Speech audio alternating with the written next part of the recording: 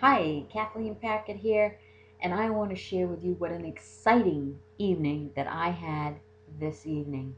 Why? Because I reached out. I couldn't get myself over a hurdle, uh, and I couldn't figure it out. And I thought, I can either sit in this one spot and churn my wheels, or I can go to somebody that has already gotten past that point and was well on their way and asked for their help and shortened my learning curve exponentially. So that's what I did.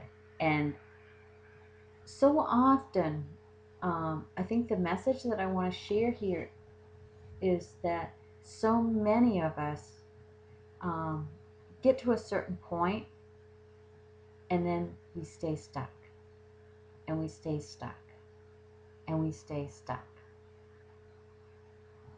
Why? There is so many out there that want to help get us past that point. So we can stay stuck or we can advance on. And my choice was I have so much invested in what I'm doing that it made no sense for me to stay and spin my wheels at a point when I knew that if I reached out and um, asked for somebody's knowledge, now there was a return of investment there, but it was worth it. It was so worth it because they shortened my learning curve. That's time.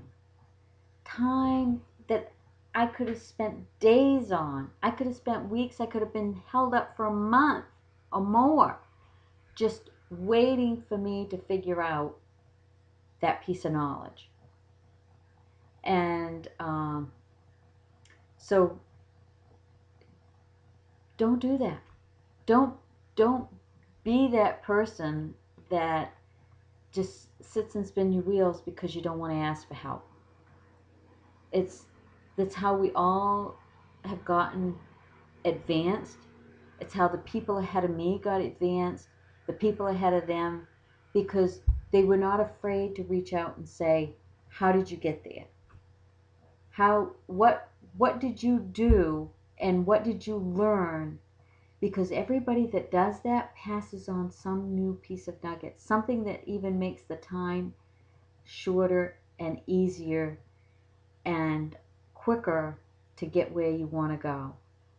So that was um, very helpful, very uh, advantageous to do that.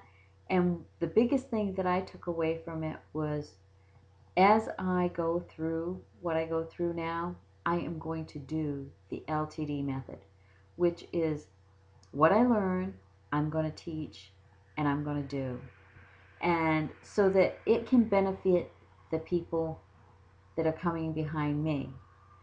And so I wanted to share that because I didn't, I, I want to start passing on that valuable, valuable information and bring value back to the people that um, connect with me.